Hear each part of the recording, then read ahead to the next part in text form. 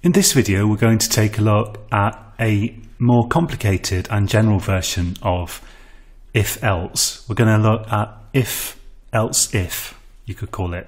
So again, as with many of the constructs that we're going to be studying, in fact almost all of them, or certainly many of them, there are equivalents to what we're about to see in other programming languages.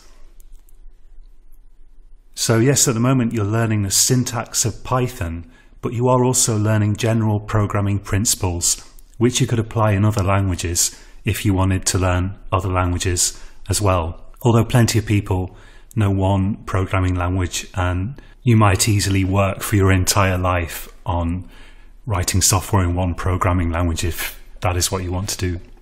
Okay, so at the top here, let's create some more constants. Actually, I'm going to rename this. Let's have this changed to worker one. We can imagine we've got some workers in some kind of facility. Let's say it's a factory or a research laboratory or something. We'll have another worker here and let's call this second worker Rachel and we'll have someone else. This can be the supervisor. Let's, let's write professor and uh, he can be called Falcon. okay, so we're going to start off by checking to see if the name entered is John. So that's worker one. Now, if the name entered isn't John, we want to check, well, is it Rachel or is it Falcon? So what I'm going to do is put another clause in here above the else. So we need to delete that indent, go right flush to the left hand margin, and I'm going to type elif, and we're going to have another condition, name equals equals worker 2. And then we'll have a customized greeting.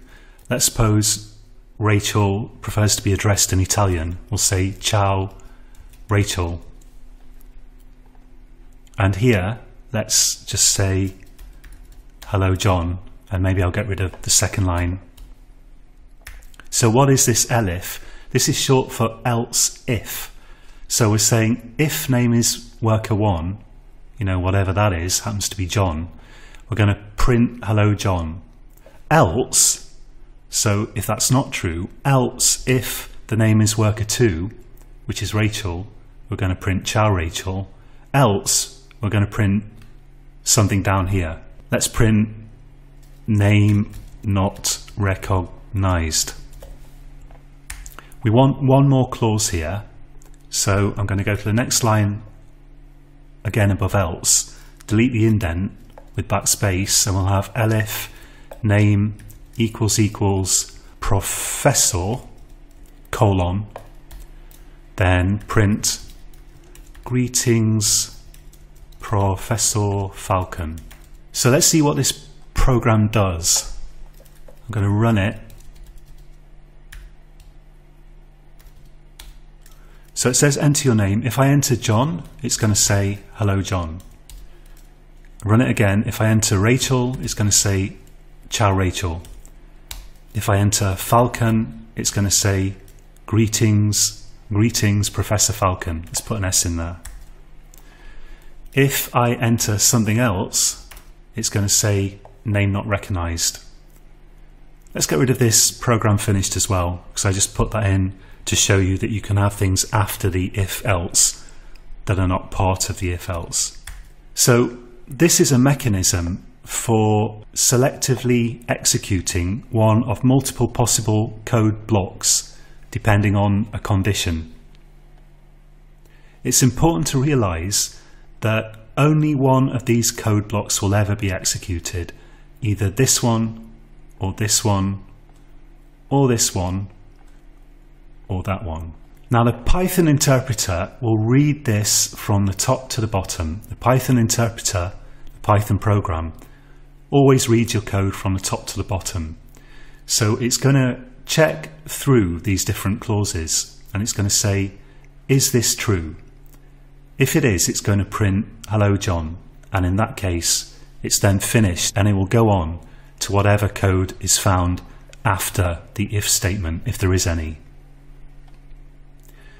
If this is not true, it will check the second condition here. If that's true, it will print ciao Rachel and then it will go on to any code that's after the if statement here. If this isn't true, it will check the next condition down. If that's true, it prints this and then goes on to whatever is after the if block. If this isn't true, then it's going to execute this else clause. So you're always going to have one of these different code blocks executing. It's just a question of which one. Now, in each case, you can have multiple lines in each code block. I've only got one line in each one, but each one can consist of multiple lines as long as all the lines are correctly indented. And all the bits of this are optional, apart from the first if. So you could have an if by itself, you could have an if, elif, or you could have all this bit by itself without the else. You could also just have if else, as we've already seen. So try this out for yourself. Type this out, get it working, and experiment with it. Try adding more lines into one or all of the code blocks.